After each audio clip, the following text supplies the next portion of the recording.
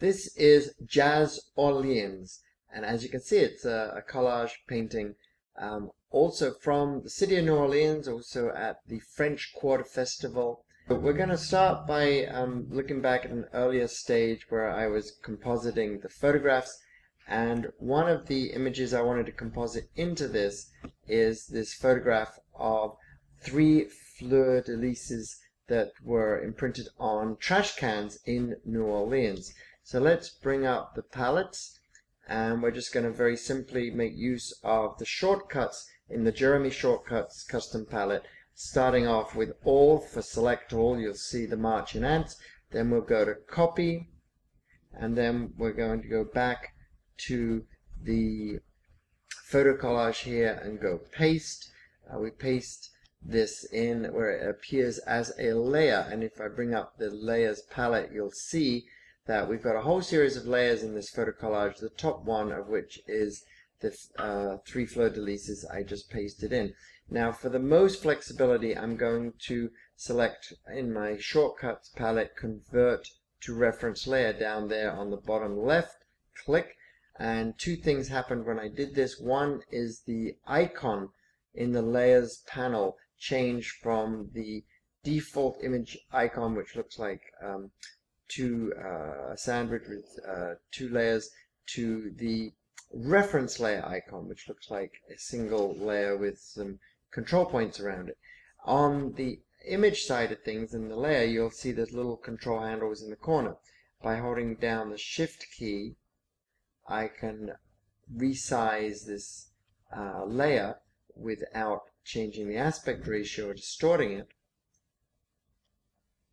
The great thing about reference layers is you can do as much manipulation as you wish um, without degrading the quality of the uh, image layer since actually you're not doing any changes until you commit that reference layer. Another thing I'm going to do is hold the command key down on the Mac. If I was on a PC it would be the control key and then I can actually just rotate this slightly as well. So it's very very versatile. I love with collage working with this uh, reference layer facility. And in case you're wondering it's under layers convert to reference layer. I just make it a shortcut. So here we go. Let's bring back the palettes and reduce the layer opacity so we can see through. And at this point I'm going to um, convert that uh, reference layer to a default layer. Here we go. It's again a shortcut in my Jeremy Sutton shortcuts um, one thing that you're welcome to do here, and I really encourage you to treat my palette arrangements and customizations purely as a, a, a starting point and then to shape them for yourself. If you hold down the shift key, you can move anything around you want in these custom shortcut palettes. And for instance here, if I find that I'm going to reference layer, then convert to default layer regularly, then I might want that in this order so that I try to get my series of uh, commands somewhat in the order of my workflow uh, for convenience.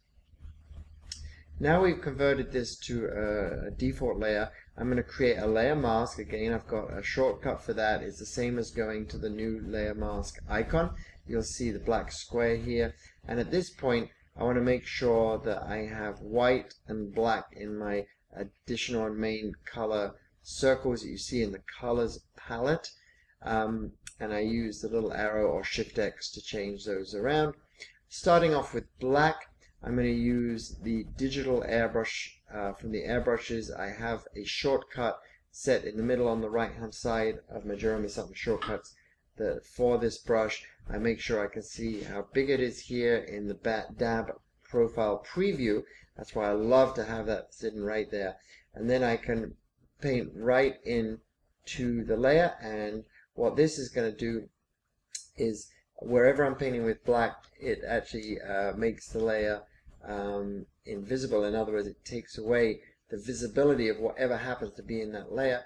Corel asked me to do some freeform painting for the end of this video so I'm going to do a quick one minute sketch of the beautiful Peggy so we're going to see where we go from here.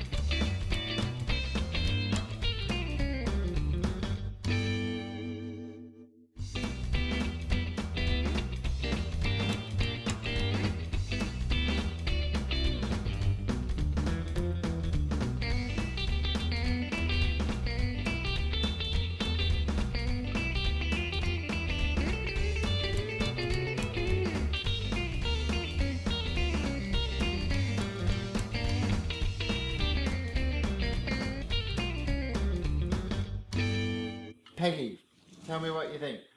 I love it. I think it looks great. I hope you've enjoyed this uh, little tour of my workspace and I really wish you lots of fun using the workspace. If you want to learn more about my techniques and uh, even some of the examples I showed, more in-depth analysis of my process, um, then please visit paintboxtv.com where I have online video tutorials, articles, interviews, more downloadable goodies for Painter, and lots of other things. Um, also, if you'd like to see some of my artwork, you're always welcome to visit my main art website, which is jeremysutton.com.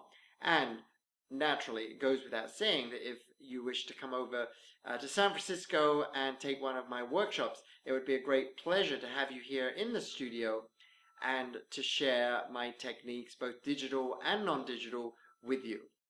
Wishing you tons of fun, happy painting, and congratulations to Painter. Happy 20th birthday and congratulations and thank you to the Painter team at Corel who've done an absolutely fantastic job with Painter 12. Two thumbs up. I love the program and I know you're going to as well.